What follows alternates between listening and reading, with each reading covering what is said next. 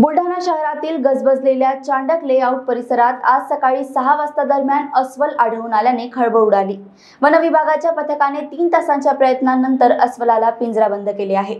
पण हे अस्वल इथवर कसे आले याविषयी आश्चर्य व्यक्त होत आहे चांडक लेआउट परिसरात अस्वल शिरल्याने सकाळी दिसून येताच वन विभागाला माहिती देण्यात आली. रॅपिड रिस्पॉन्स टीम आणि वन्यजीव संरक्षण दलासह पोलीस घटनास्थळी दाखल झाले. तोवर परिसरातील लोक घटनास्थळी अस्वल पाहण्यासाठी आले होते. गोंधळ वाढू लागत असतानाच वन विभागाच्या कर्मचाऱ्यांनी अस्वलावर निशाणा साधत बेशुद्ध केले आणि पिंजऱ्यात बंद करून जंगलाकडे घेऊन गेले.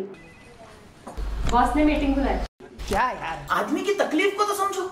बाहर बाहर उठो बैठो उठो बैठो जनाब तकलीफ़ उठने बैठने की नहीं तकलीफ़ बवासीर की है। बवासीर फिशर भगंदर पाइलोनियल साइंस का आयुर्वेद तथा आधुनिक लेजर से उपचार। Abhyudaya piles laser hospital Lohar Samaj Bhavan के पीछे महापुष्प सोसाइटी शताब्दी नगर चौक से मनीष नगर रोड नागपुर। कॉल और विज़िट करें www.pilesfistulacure.com